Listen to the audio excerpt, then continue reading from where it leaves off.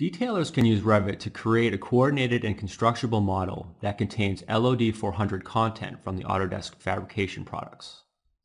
You can add and modify hangers in a fabrication model that includes ductwork, pipework, or electrical containment. To place a hanger, select the fabrication element and click Show Service to specify the service and group. Select a hanger and place it on a straight segment, or on the straight portion of a fitting extension.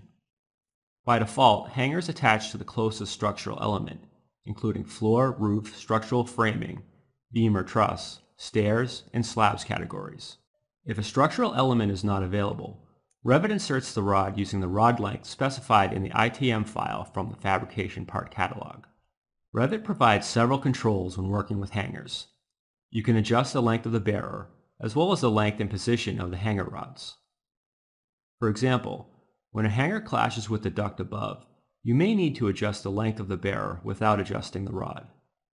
Select the hanger and drag the triangle or bearer end control to lengthen the hanger. Hangers can also be placed independently without being connected to a fabrication part. For example, you may want to attach a bearer hanger to the structure of another bearer hanger. First, let's adjust the length and position of the existing hanger rod. Select the hanger and drag the circle or rod end control. Next, place a second hanger and specify its elevation. Finally, drag each of the rod ends to reposition and connect them to the bearer of the existing hanger.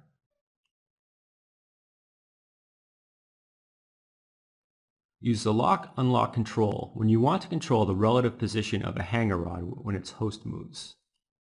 By default, a hanger rod is locked and maintains its relative position within the host. For example, when you move a duct, the hanger rod moves with it. When unlocked, the duct moves independently of the hanger rod, and the rod maintains its relative position on the structure.